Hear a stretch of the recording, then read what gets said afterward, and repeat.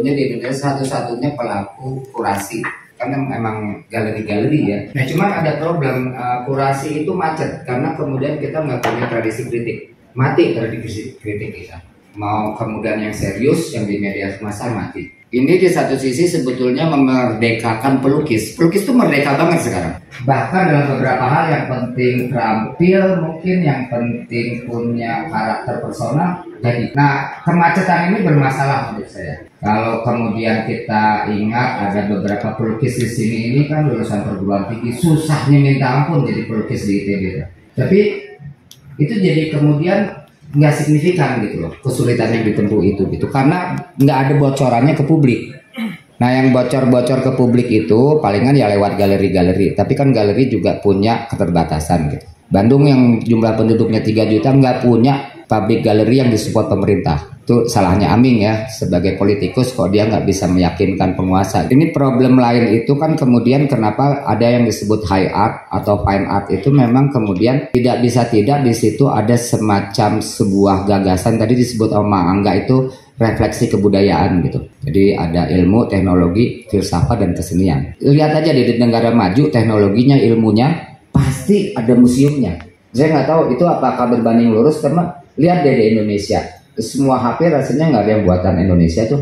Nah jadi uh, uh, sebetulnya saya cuma ngomong satu uh, bahwa kemudian dalam kesenian itu nggak banyak gunanya yang kemudian berguna mencanggihkan kita gitu, mencanggihkan kreativitas, imajinasi, kognisi. Itu penting banget gitu. Kalau kita mau jadi bangsa yang imajinatif mau maju, salah satu variabelnya seni. Karena seni itu tempat di mana kreativitas secara ultimate itu bisa disampaikan, nggak nggak bahaya gitu bisa gila-gilaan.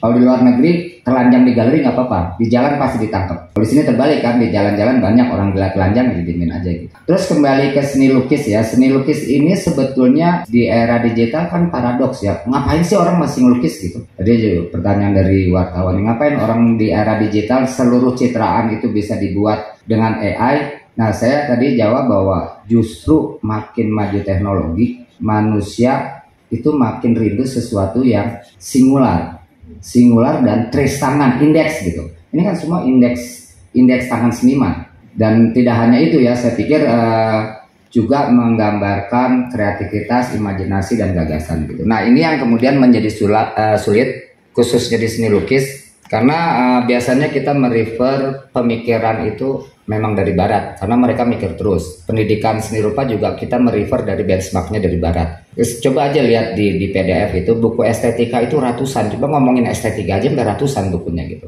Nah sebetulnya uh, seni lukis tuh punya problem karena dia punya dosa di seni rupa modern. Dia disebut medium specificity ya, medium yang paling utama yaitu memang diawali dari masa Renaissance pada saat mulai ada high art itu seni lukis sebagai visual culture di masa itu. Sampai di era seni rupa modern yang disebut masa klasik seni lukis Eropa itu ditolak oleh seni rupa modern masa klasik ditolak oleh seni rupa modern ini dianggapnya tradisi ya uh, karena ada ada ada fotografi yang menyalin alam lebih baik. Lalu uh, seni lukis itu berupaya untuk mencari rute lain yang disebut sebagai seni lukis abstrak yaitu sebuah karya yang self referensial ya disebutnya self referensial itu udahlah kita nggak usah ngurusin dunia. Itu juga merupakan gerakan dari para pelukis untuk uh, menolak realita dunia ya waktu itu ya. Perang dunia baku bunuh kayak gitu. Jadi dia inward looking gitu dan itu juga sifatnya ontologis mencari esensinya jadi kalau mau maju jangan diganggu lukisan itu dengan tugas-tugas menyalin alam tapi harus filosofis harus ontologis cari esensinya. Uh, kan kesenian mau menyaingi ilmu harus kayak gitu gitu loh. Nah, di yang menarik Bandung ini sebetulnya sering dituduh dulu ya tahun 50 60-an sebagai laboratorium barat. Laboratorium barat itu artinya kita mengadopsi barat. Makanya uh, dulu digebukin kan sama sama sama seniman-seniman Jogja realis yang lebih bisa merepresentasikan realita gitu. Walaupun tentu saja realis juga dari barat gitu. Nah, uh, tapi juga dalam perkembangannya uh, sebetulnya seni lukis abstrak itu yang di Bandung nggak dianggap lah sama seni rupa barat ya. Karena seni untuk mereka bingung bagaimana mungkin di, di di sebuah negara di sana ada seni lukis abstrak. Ujungnya di mana gitu loh. Dialektikanya gimana? Abstrak itu muncul karena ada dialektika terus menerus untuk kemudian sampai pada abstrak. Singkat cerita justru di era seni rupa kontemporer yang melukis abstrak boleh-boleh aja. Nggak butuh lagi dialektika gitu. Mau melukis apa pun boleh-boleh aja gitu. Jadi kalau kalau saya tulis di situ kok ada kurang dua ya. Kalau kita lihat seluruh seni lukis di sini setidaknya mengandung ada empat uh, katakanlah standpoint atau kecenderungan yaitu turunan tradisi seni lukis. Sebut aja Eropa. Dari mulai klasik eh, klasik itu dari mulai realis naturalis uh, lalu kemudian masuk ke modernis formalis abstrak dan ekspresionis. Itu kan utama tuh. Kalau di ITB disebutnya Trisula ya kalau masalah gitu. Itu ada semua turunannya di sini gitu. lalu kemudian yang kedua itu adalah expanded painting jadi dia painting tapi beyond gitu, tapi tetap dijejaki ada paintingnya mungkin karyanya siapa tuh? Itu agak-agak expanded painting.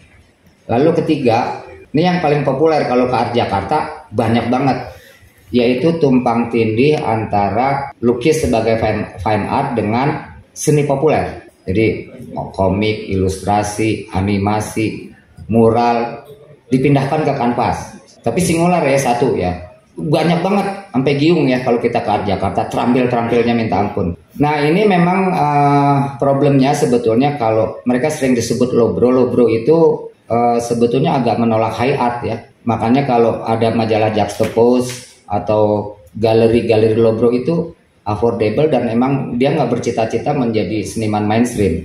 Walaupun selalu ada aja yang diculik kalau mungkin pernah dengar Robi Dwi Antono, lalu kemudian tahu Mark Ryden Mark Ryden itu dulu seniman lobro tapi diculik ke atas gitu. Tapi ya seniman lobro masih ada galeri lobro banyak banget. Nah di Indonesia aneh nih tiba-tiba ini para lobro approach-nya lo. Bro tiba-tiba ada di atas tanpa ada justifikasi sama sekali. Nggak ada penjelasan lu kan bukannya anti yang di atas. Saya tidak jadi persoalan untuk saya. Cuman yang kemudian jadi persoalan kita nggak bisa menangguk aspek-aspek yang sifatnya kritikal dari dari situasi seni lukis seperti ini. Nah juga problemnya kalau kemudian kita mau mengadopsi barat seni lukis itu bukannya nggak ada wacananya. Wacananya terfragmentasi dan sulitnya minta ampun. Kalau dulu kan ada seni lukis modern seni lukis postmodern, seni lukis kontemporer itu wacananya jadi sulitnya minta ampun gitu. Coba nanti dibaca ada buku-buku yang misalnya painting beside itself gitu. Itu terkenal banget tuh artikelnya. Terus dari Isabel Grow itu The Law of Painting. Jadi tumbuh lagi tapi makin sulit gitu. Nah, di sisi lain di sini karena juga market melukis menjadi terlalu mudah. Jadi eh, pelukis nggak dapat kritik karena nggak ada kritiknya bukan salah pelukis juga. Pelukis juga nggak usah mikir-mikir amat lah mikir-mikir malah nanti nggak payu gitu misalnya. Nah uh, ini ini sebetulnya menurut saya kurang menyehatkan ya. Kurang menyehatkan kalau tadi kesenian sebagai sebuah refleksi praktek kebudayaan simbolik itu tidak dikomplement sama pikiran gitu. Itu yang disayangkan. Dan kita menuju kemunduran kalau kita lihat dengan masa-masa sebelumnya dulu ada polemik segala macam. Saya nggak tahu apakah ini karena budaya digital kita nggak ada lagi media cetak dan paling parah itu sebetulnya nggak ada perhatian pemerintah. Kalau di Amerika itu kritikus dilindungi uh, lewat endowment bahkan digaji gitu. Sekarang coba nulis kritik berapa? 250 ribu, bayangin aja 250 ribu sampai 300 ribu. Ya semua jadi kurator lah. Kan uh, mikirnya mungkin lebih susah kritikus ya daripada kurator.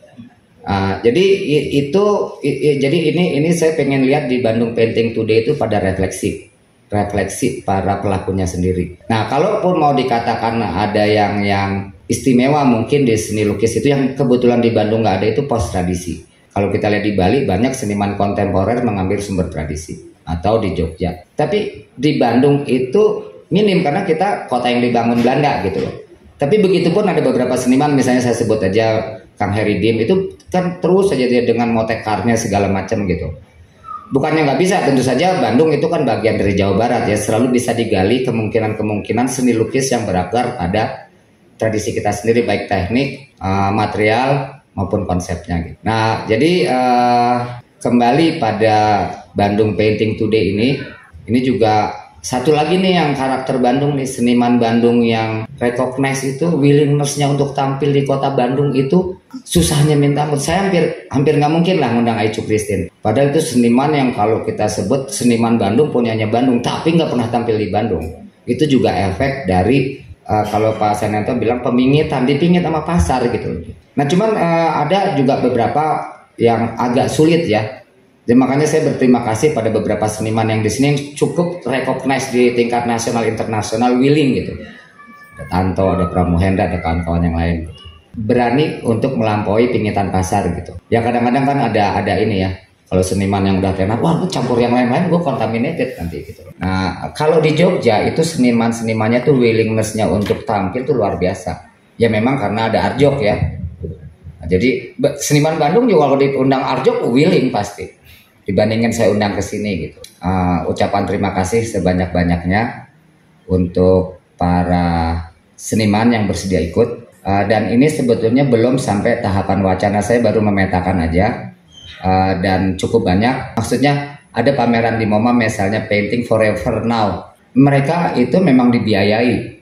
Mungkin dua tahun riset siapa sih 10 cuman 10 tapi setiap 10 itu itu yang benar-benar menerobos yang kemudian dibiayai juga gitu 10 seni pelukis mungkin masing-masing 5 karya 50 karya kalau ini adalah pemetaan yang tadi juga disebut anggap mungkin baru awalan dan satu hal yang sebetulnya saya ingin gugah itu adalah identitas ITB yang sebetulnya diturunkan dari identitas seni lukis Bandung yang diturunkan oleh ITB. Saya rindu banget nih teman-teman dari ITB, dosen-dosen yang pelukis itu buat buat gerakan neo abstrak gitu. Harus harus ada di, diperbarui gitu dan itu sangat mungkin gitu loh. Dan terutama memang kemudian identitas Bandung yang pernah disebut sebagai laboratorium barat. Dan kalau Bandung bisa memuatin ini terutama di teman-teman ITB yang kemudian dasarnya memang dari aspek teori dan wacananya kuat, ini bisa sesuatu gitu. Nah kalau udah ini ada gerakan-gerakan kayak gitu mungkin menghela yang lain gitu segala macam gaya gitu. Dan juga terakhir uh, mungkin ini juga menarik ya ini ada fenomena baru yang juga bisa dikaitkan dengan seni lukis adalah grey. Grey ini tempat menarik cuman mungkin juga nggak butuh-butuh amat wacana karena ini untuk saya ini entry, entry point ya.